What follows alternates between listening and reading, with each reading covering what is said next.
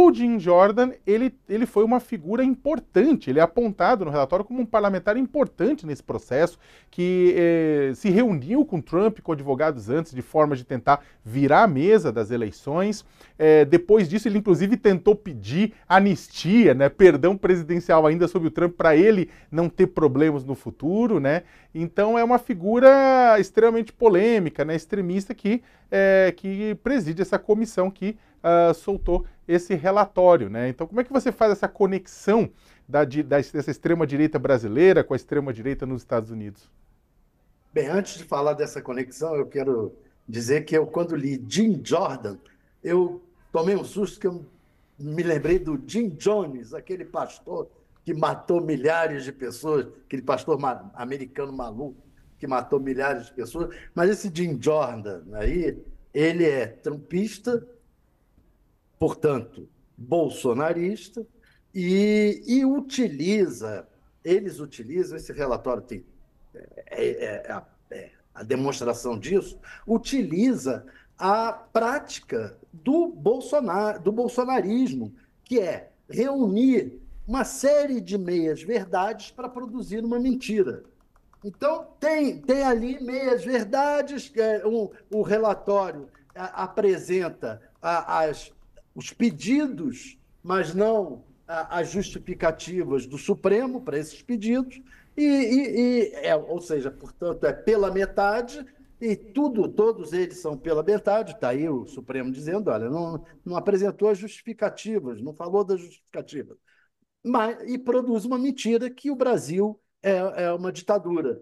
Né? Eu fico pensando assim, é, o Trump, se for eleito, vai vai fazer, é, vai, vai dar o perdão para, para o Julian Assange, já que eles são completamente favoráveis à liberdade total, é, é, como Elon, Musk diz que é. E, aliás, foi uma enquete do Twitter que disse que 80% dos que foram consultados pelo Twitter né, defendem que seja, que seja dada uma anistia para o Julian Assange, aquele que abriu os, o Wikileaks, né? os arquivos secretos dos Estados Unidos, mostrando a matança que os Estados Unidos produziu na guerra do Afeganistão, em vários lugares.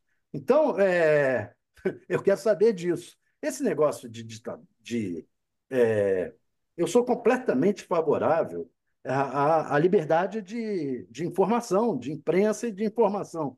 Agora, é, a, a, a liberdade não quer, é, não quer dizer que você. Eu, eu sou contra você, por exemplo, você. É, porque o cara tem uma opinião contra o Supremo, porque o cara até xingar, eu acho até que pode xingar ministro Supremo, dizer esse ministro é um idiota. Eu acho que pode. Não pode ameaçar de morte, não pode ameaçar de bater, não pode ter ameaças é, de agressões. Não é só agressão, agressão verbal pode ter à vontade à vontade. Mas minha, essas pessoas estão sendo julgadas aqui no Brasil porque elas fizeram, é isso que tem que colocar no lugar, porque elas fizeram ameaças de morte, algumas vezes violentas, é, tipo Roberto Jefferson, essa gente. Fizeram ameaças, alguns coronéis que disseram que iam quebrar, iam matar, etc. E tal. Isso sim.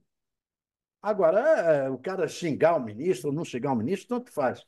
Eu gostaria é, tem só uma questão que eu acho que o, o ministro Moraes é, exagerou um pouco é, e ele abriu o flanco para esse tipo de crítica. Os exageros do ministro Moraes abriram o flanco para esse tipo de crítica.